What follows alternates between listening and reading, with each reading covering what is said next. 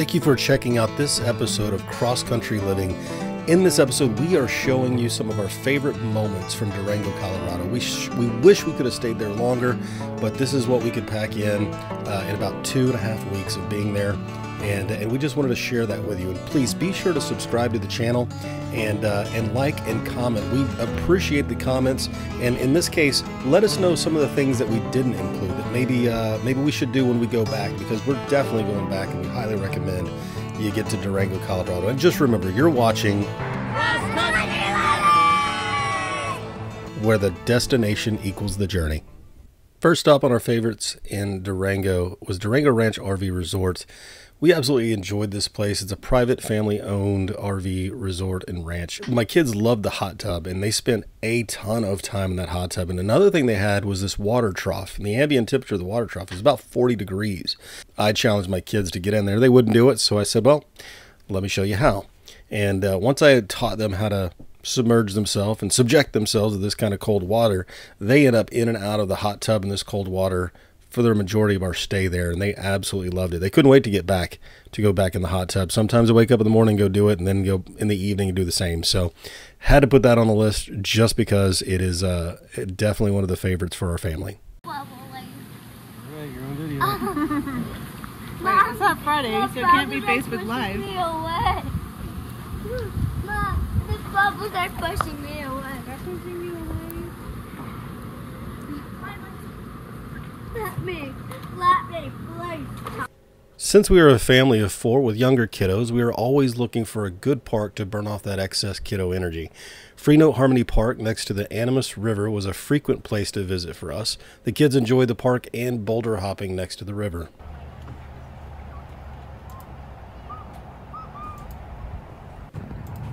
What happened?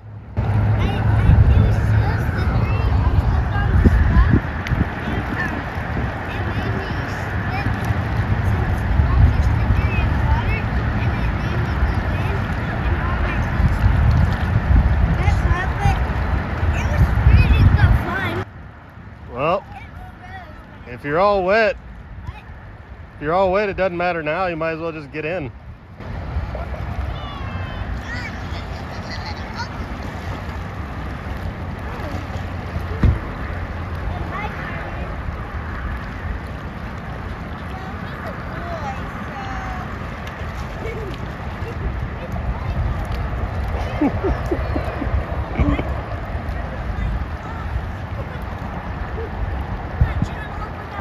Okay. The Durango Fish Hatchery was a special treat for us because it was the first time that we'd seen so many fish in one place. And so, truly, the kids had a lot of fun watching the feeding frenzy that would happen when they would throw the food in the water. So, we spent a good amount of time here, and you can just see the, uh, the, the size of the fish increase as they go through the various phases of their uh, life before they're turned loose into the local rivers. Yeah, let's go feed the other ones.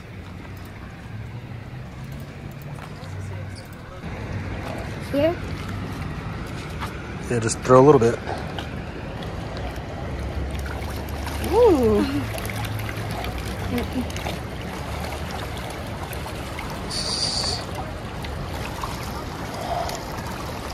It's like they know. That's funny. They- they see the little- They're gonna find all the little baby ones. And they're gonna want to feed them. And they're gonna talk about how the little baby ones get bullied on by the big ones. They want to make sure the little ones get food. Are you feeding them all, Mama? Yep. Where are they? Uh, they're spread out. Where's the little one? Right there. Is that the littlest one? Probably. Oops. Here, I don't think I did it right. Hey. Oh, get some, little one. Just got swam over. It didn't even get any. Well, that's that's uh, unfortunate for that one. All right, I think we're learning lessons about survival right now. He's little because he's not fighting for it. Oh, look, he, he finally got one. There we go. Finally. Dalla Mountain Park was a great place to do some hiking and some light bouldering. Since we're pretty new to all this, uh, it was a nice place to kind of get introduced to this type of uh, outdooring. And so the kids had a lot of fun, and even Charlie got to get off leash and uh, hike around a little bit with us, so he, he loved it too. And Dalla Mountain Park is just northwest of town off of Junction Street.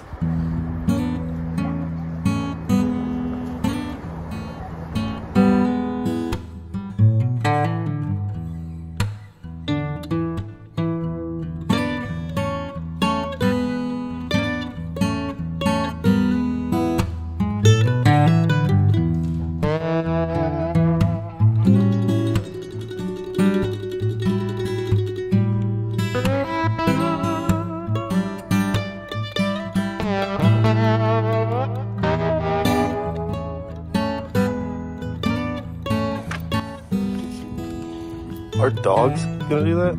No, Charlie, that doesn't look like a good idea. I Does he? I don't think so. Charlie? Charlie, come on. Come. Can I try it? Yeah. Come on, Char Char. You come with the old people. Come on. Good boy. Mom, you're not old. You're a grown up. Well, you come with the grown Good boy. Good boy. Declan, good boy.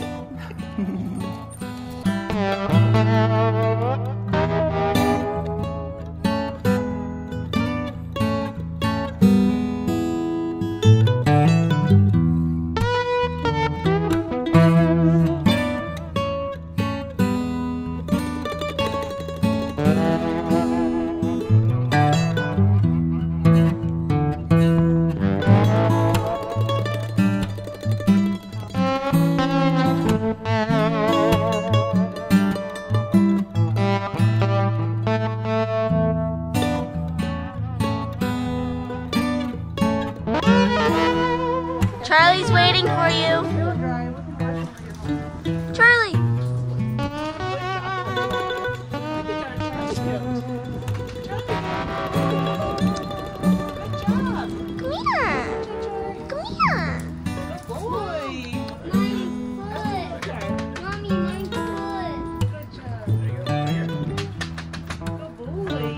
My finger was in the way.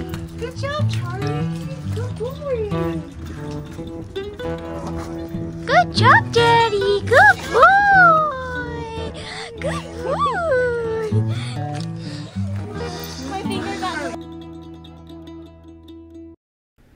Another favorite thing that we did in Durango was drive the 550 highway, which is also known as the Million Dollar Highway. Uh, this road goes from Durango up through Silverton and on into Ouray and, and beyond. We drove this as the sun was setting uh, in, in September. It was a beautiful, beautiful drive. The trees and the colors were changing. Uh, we also had the colors from the sunset. Uh, absolutely recommend it. But here's the thing: you want to plan that drive, if especially if you're going to do a sunset drive. See if you can stay the night in Ouray and come back in the morning. Uh, ju- just because trying to drive this highway at night is not not the wisest choice. But we just didn't plan our day well because we thought, oh, it'll we know the drive will take this long, and then we'll come back and it'll be fine. But we didn't realize how many times we were going to stop and really just take the scenery in and walk around and let the kids climb and stretch their legs. So again, great, great drive. Highly recommend it. Lots of places to stop along the way, and just you know, plan to have a day there. Maybe do an overnight and come back the next day.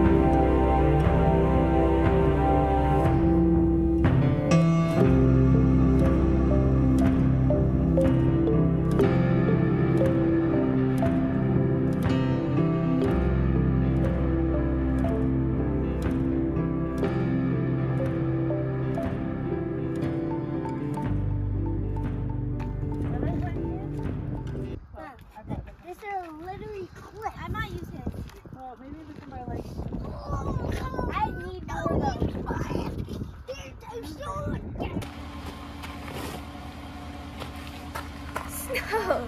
Killing.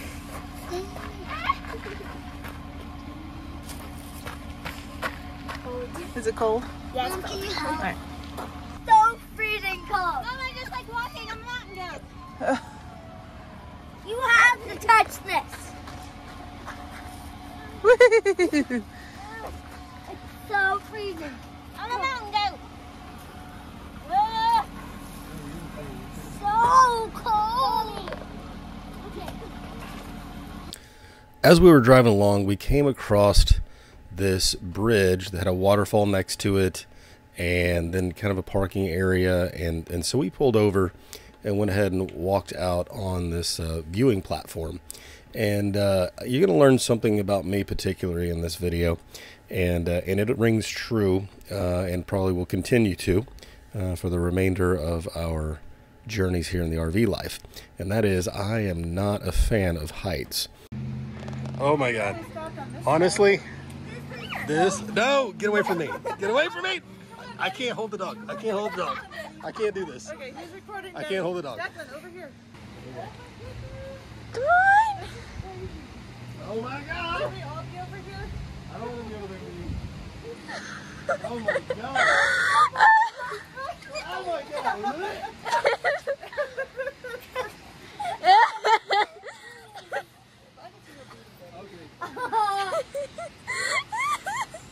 Oh my gosh. That is crazy. Oh, not when I'm Hey, doing mate. up the farts. I, Do not climb up on there. Oh, I know. Oh yeah, do that. I'm just looking like this. Oh my gosh, I can't. This is oh my gosh. Dude, you are your swift I need a camera. movements are making me want to vomit. Come on, Daddy. I'm not looking like an old man hunched over.